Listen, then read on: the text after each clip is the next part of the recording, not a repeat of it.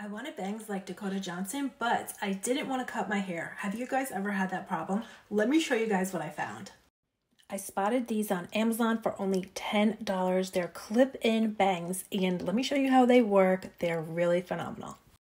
Just spray a little hairspray about an inch in from your forehead.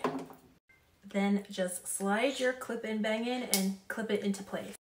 And there you go, Dakota Johnson style bangs without the commitment.